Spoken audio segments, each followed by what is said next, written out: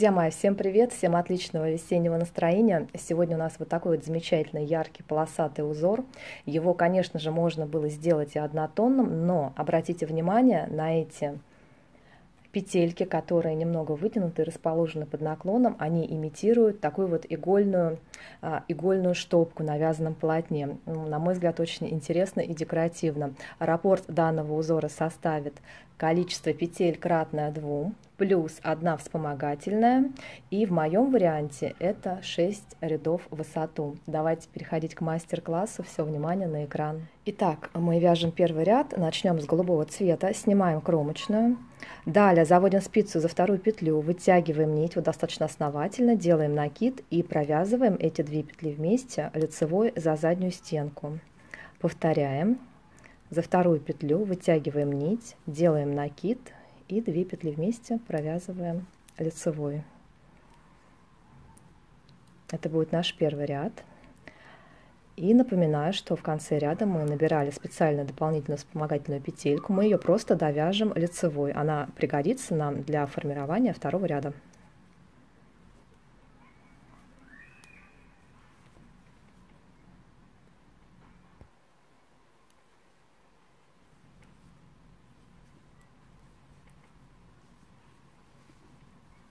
Первый ряд готов, переходим ко второму. Здесь мы сначала снимаем кромочную, далее мы провязываем 2 петли вместе изнаночные, аккуратно отделяю пряжу, у меня она немного объемная. Итак, 2 петли вместе провязываем изнаночные, далее одна лицевая. 2 петли провязываем вместе изнаночные и 1 лицевая.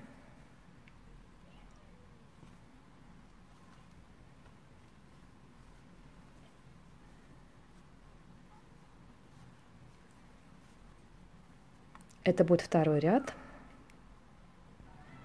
И так как у нас была одна вспомогательная петля в наборе, заканчиваем, заканчиваем мы второй ряд одной лицевой и одной изнаночной.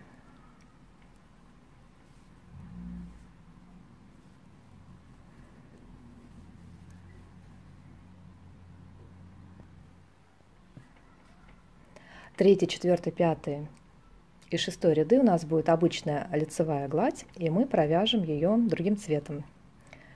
Итак, третий ряд лицевые –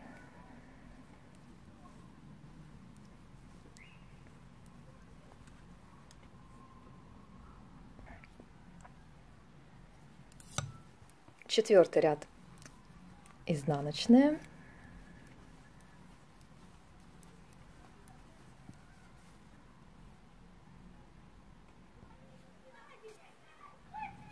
пятый лицевые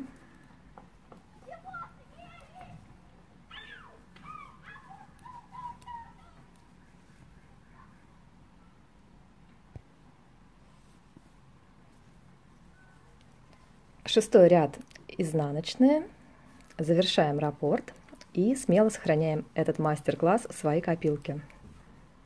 Я уверена, что он обязательно вам пригодится. Друзья, желаю вам отличного, отличного весеннего настроения и прощаюсь с вами до завтра. Всем пока!